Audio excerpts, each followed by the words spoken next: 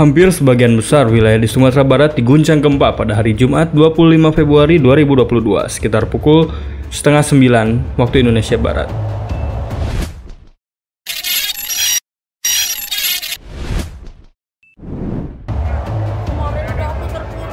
Data Badan Meteorologi, Klimatologi, dan Geofisika mencatat kekuatan gempa sebesar 6,2 magnitudo.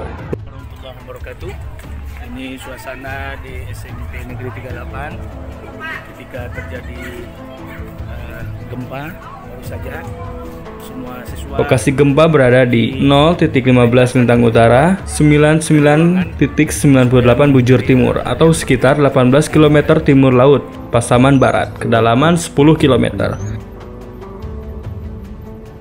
Gempa dirasakan di Darmas Raya, Padang hingga Pekanbaru. Sejauh ini belum ada laporan kerusakan akibat gempa.